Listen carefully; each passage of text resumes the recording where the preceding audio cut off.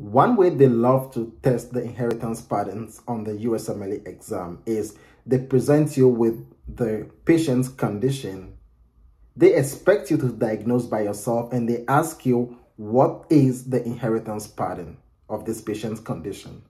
For example, let's look at this question. A 27-year-old male presents in the ER with history of episodic headache.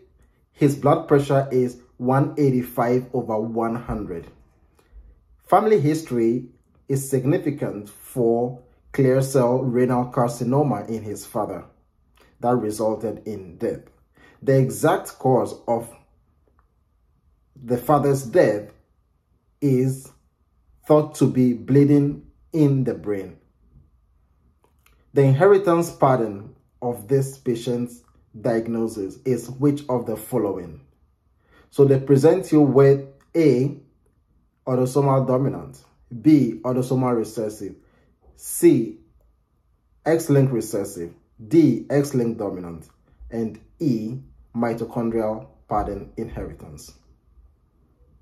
So with this, you can diagnose this as the patient most likely has von Hippel-Lindau. Von Hippel-Lindau is associated with clear cell renal carcinoma.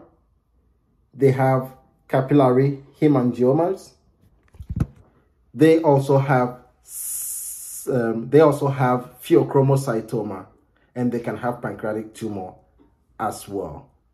So this is how they present it and you are supposed to figure out. But when I was studying for the step one, I realized that it was hard to remember which condition is autosomal recessive, which one is autosomal dominant, which one is X-linked dominant, X-linked recessive. So I came across this mnemonic and I want to give it, share with all of you so that going forward, it makes studies easy for you. Kindly subscribe to this channel and let me know how um, you feel about this video under the comment. And if you want more of this video, just let me know. So the mnemonic to remember the autosomal dominance is as follows. It is a song and you have to sing it several times. And if you do that before your exam, you know it. So anytime you are doing your UWorld, you practice it. Anytime you are doing NBME, you use it. And when you go into your exams for the step one, when they ask a question, you quickly sing it in your mind and you pick your answer. So this is how it goes. This is for the autosomal dominant. Check our other videos for the autosomal recessive mnemonic as well. Von, Von, ALS, RBMEN, Tubes and Spheres and Huntington, Marfan Ehlers Lee, Von, Von, ALS, RBMEN, Tubes and Spheres and Huntington, Marfan Ehlers Lee. So this mnemonic puts together most of the most of the autosomal dominant conditions that they ask on the USMLE. But this is not all. What is not included? Two important conditions I did not include in this mnemonic are familial adenomatous polyposis coli and neurofibromatosis. For neurofibromatosis, they have multiple neurofibromas on their skin. So that make, makes it dominant, or autosomal dominant. It dominates over their skin.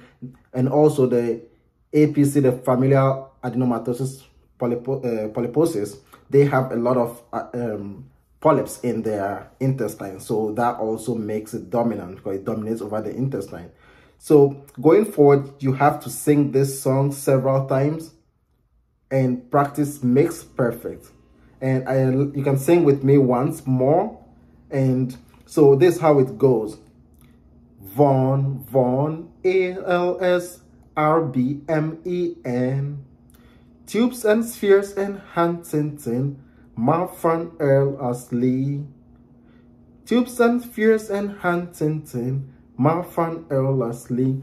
So if you if you look, we have two Vons. The first Von is Von Hippel Lindau.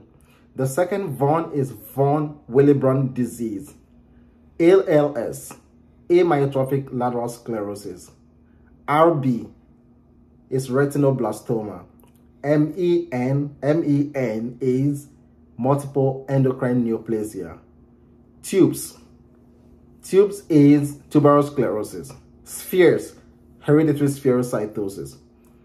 Huntington, Huntington disease. Marfan, Marfan syndrome. Ehlers, Ehlers-Danlos syndrome. And Lee is Li-Fraumeni syndrome. So this is it. Repeat this song several times. I'll sing with you once more and you have to do the rest by yourself. Von, Von, A-L-S, R-B-M-E-N, Tubes and Spheres and Huntington, Marfan Ehlers Lee. I hope you find this video helpful. Let me know how you feel about this video and I wish you good luck in your exam. Subscribe and check my next video uh, for the X-linked recessives as well. Thank you. Good luck in your exam. Bye.